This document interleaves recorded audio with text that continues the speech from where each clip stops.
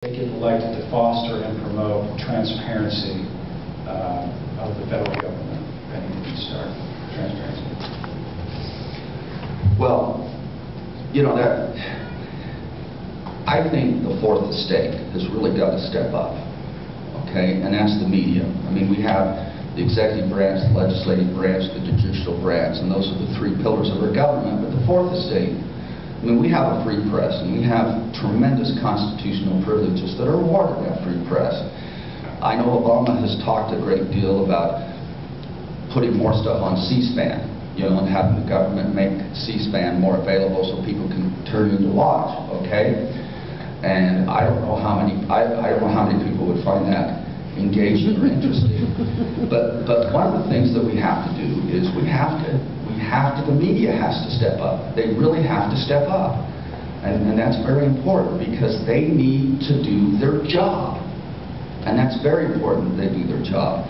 We can't force them to do their job, it's free press, but they have to do their job, and that is really the best way. And people need to ask the questions, and maybe people need to demand that the media does their job.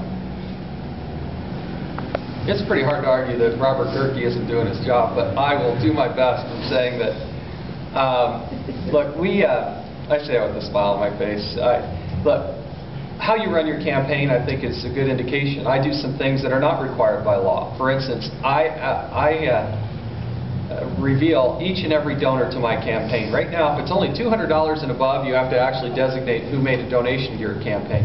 You look at Barack Obama's campaign, something like 40% of the hundreds of millions of dollars he's raised has come from people that are donating less than $200. He should have to articulate and open up the books to show where that money's coming from. I voluntarily do that in my campaign. You make a donation of $2, I will put it on my disclosure report. Same thing should happen in the United States Congress. Right now, if you wanted to go see the individual budget of your congressman, the $1.35 million that is roughly the budget, uh, for instance, of a congressman from the state of Utah, you can't find it online. They don't make it available. You have to physically go into the House of Representatives and open up a book that's been printed at some great expense and then go and photocopy and do it. I think it's because Congress doesn't want to open it up and have the transparency that you as a voter deserve. And it's something I'd like to champion and make sure that we change within the United States Congress.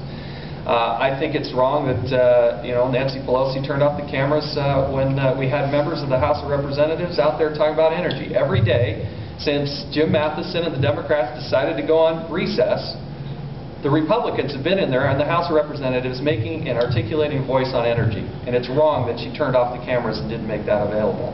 I'd like to see it uh, happen in the courts as well. It's, uh, it's going to be difficult to try to push that. The judicial branch is going to have to make the decision, but I'd love to see the cameras uh, there in the Supreme Court. There are so many things that we should do. Primarily primarily that means making this information available online. It's getting better, but there's a lot we can do to champion uh, that. Earmarks is the thing I'll leave you with. I have taken the pledge I will not ask for these earmarks, these airdropped earmarks, these appropriations. You deserve to know what your congressman is asking for and to be able to see it walk through the process. Right now there is no transparency in that process uh, until the very end. We had a, a $550 billion omnibus bill that passed in December of last year. There were 9,500 earmarks in that bill. It had 48 hours of, of daylight before the, the Congress voted on it. That is just so wrong. So there's a lot that we can do there. Um, and uh, rather than just relying on the, the media to do the job, I want to empower people in their own personal computers in their basement to be able to access the information, what's going on and not going on within the United States Congress. Thank you.